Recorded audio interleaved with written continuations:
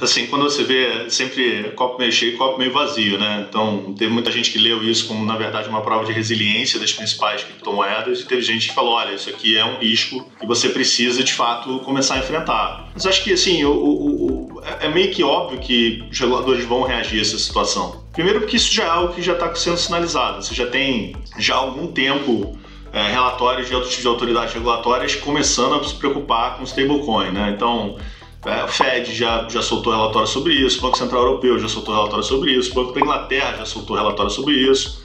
E eles estão preocupados, em particular, e eu acho isso assim, uma preocupação bem interessante, dos vínculos né, do mundo cripto com o sistema financeiro tradicional. É óbvio que você consegue identificar que três grandes stablecoins são, sei lá, 80% do mercado: a Tether, o USD Coin e a Binance, né, USD. Mas em que medida né, essa relação entre as stablecoins e o sistema financeiro tradicional pode representar um risco maior, mais macro, é ainda algo que as pessoas estão estudando. Né?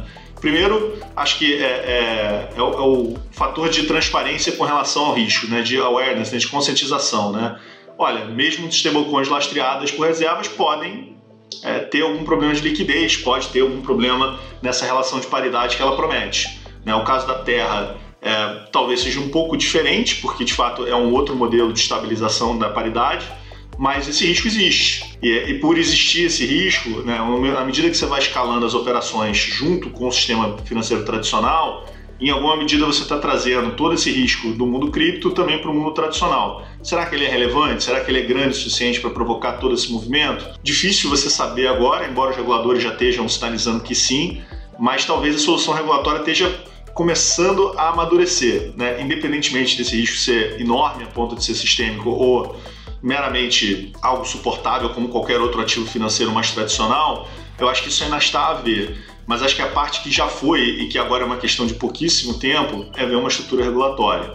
Na verdade, eu acho que as, as autoridades regulatórias estão começando a estudar como fazer isso né, e, e, ver como é que ela faz. E eu acho que esse ponto de contato com o mercado financeiro tradicional vai ser talvez o grande eixo regulatório. Né? Você começaria a fazer pelo mercado financeiro tradicional, nesse ponto de contato que você tem com o mundo cripto, e desenhando estratégias regulatórias a partir desse ponto de contato. Isso a gente vai ver provavelmente se não ainda em 2022, logo no início de 2023. Acho que é um cenário muito, muito próximo de acontecer.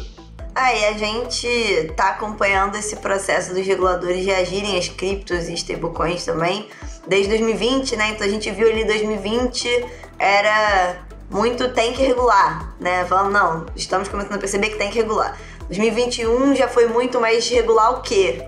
Eu acho que agora em 2022 a gente tá chegando no tá bom, mas regular como? E aí é isso, se a gente acompanhou esse debate aí, tem muito material aqui desse período já, de desde o iníciozinho, vai continuar tendo, mas para isso é só se inscrever no canal, ativar o sininho, que vai ter muito mais. E até semana que vem. Até semana que vem, gente. Tchau, tchau.